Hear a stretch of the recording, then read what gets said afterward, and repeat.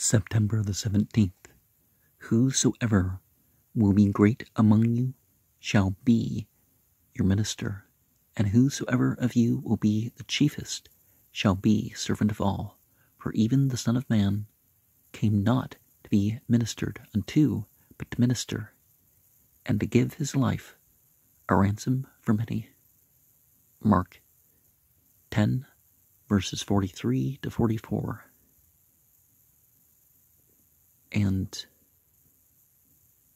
there's something about that experience of doing public service.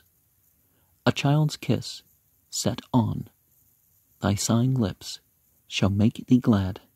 A poor man served by thee shall make thee rich. A sick man helped by thee shall make thee strong.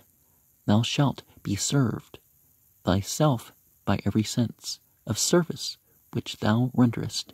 E.B. Browning. Now, that may stir up some thoughts that people um, have nowadays, but that's, you know, not what they mean. Um, people would hug and kiss their parents or strangers or whatever, and it wouldn't necessarily be in that um, context. Let every man lovingly cast all his thoughts and cares, and his sins too, as it were, on the will of God.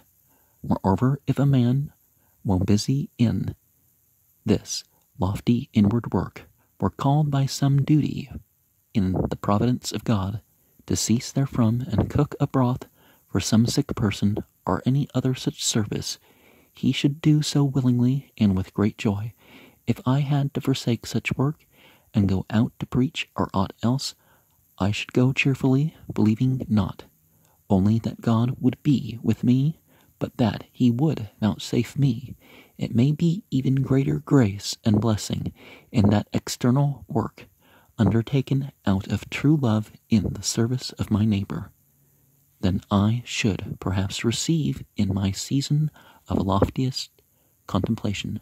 John Tauler. So, what can we do with what we have been entrusted with?